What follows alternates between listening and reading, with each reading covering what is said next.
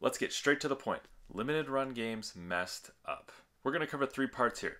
When did it start to go bad? What's currently going on right now? And what it's going to look like in the future.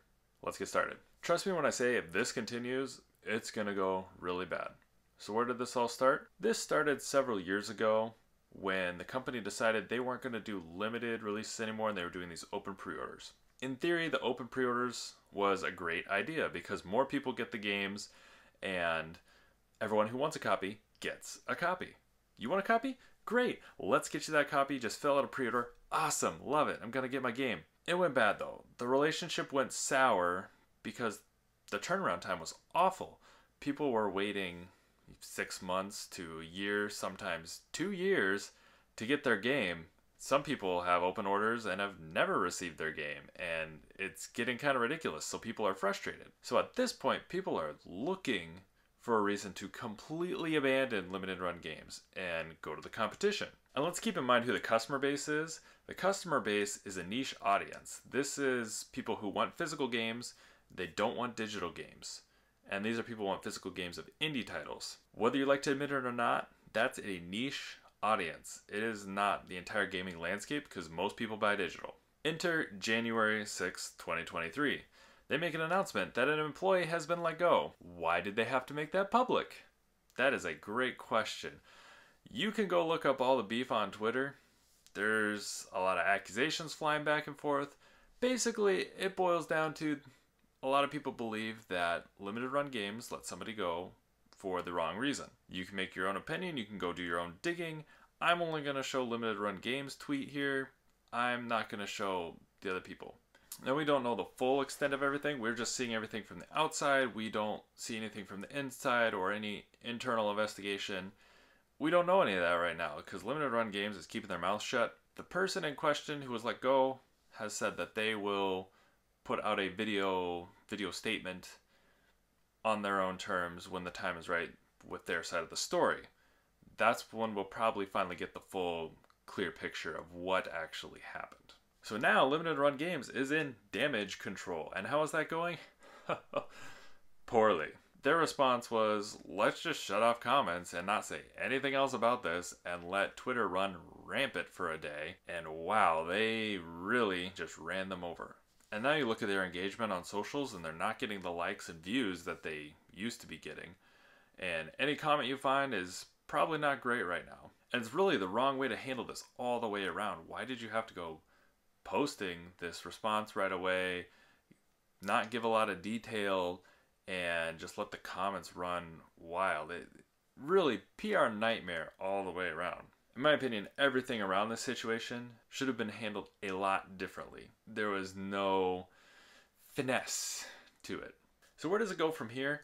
This is the portion where you get to vote with your wallet now. If you don't like what limited runs games did, don't keep buying their products. If you have open pre orders, you can try to cancel them if you want to.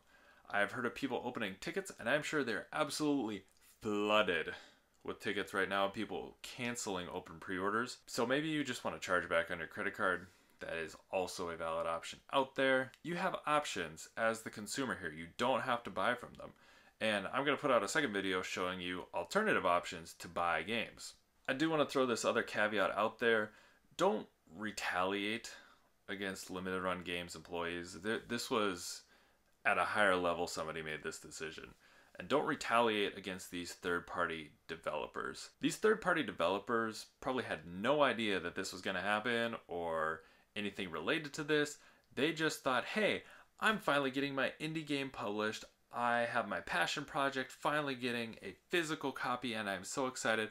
Oh, now it's linked to this company that people don't like. Don't punish these third parties. If you wanted the game, go buy it digitally.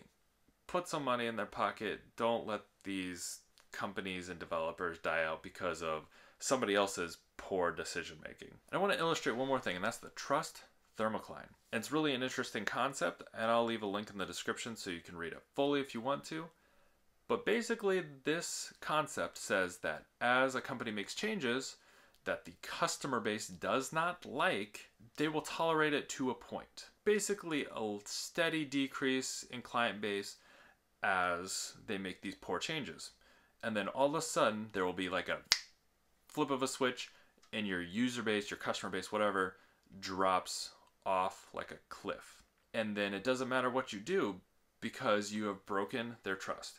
And the trust is the biggest part of your customer base. And the trust in this instance is from your collectors who spend their extra hard earned money on these indie games printed in limited quantities in this niche market. When you're only going for a niche market, you need every customer you can get, and you've now alienated a lot of them. And unfortunately, for a company like Limited Run Games, it doesn't matter what you do, you will never be able to bring all of that trust back. So at this point, the company kind of feels like we're just watching the collapse.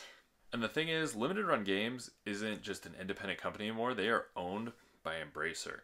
And I guarantee you, they are watching this like a hawk. And so, how I see this playing out is this could go down a few different ways. Either they try to rebound and they just operate with less users, less customer base, a lower customer base. Option two is Embracer says, shut it down all the way, wash your hands of it. Or option three, which I think is the most likely, and I don't know how far in the future this is, is they take the carbon engine that Limited Run Games has. This is what they really wanted, I think, is they take that carbon engine, they take that whole development team and pluck it into another studio. And they say, your whole job now is to remaster our old games that we want to put out there. And they take the collectible side of things and they try to spin it off into something else and they just axe the whole brand name. Because at this point there's a lot of trust that is gone from that brand name.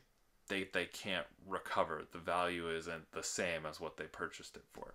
And all of this along with the trust thermocline everything that's happening right now as we're watching this all unfold is why i think we're watching the downfall of limited run games. And if you've made it this far i'd really appreciate if you subscribed and leave me a comment of what you think down below and you don't want to miss the next video, I'm going to give out recommendations of the companies I think you should spend your hard earned money on instead of limited run games. If you want to watch something else, YouTube thinks you should watch one of these videos that are going to appear here somewhere. I don't know where yet, but maybe there's a video here. Maybe it's down here. Maybe you should watch one of them because YouTube thinks you're going to like them.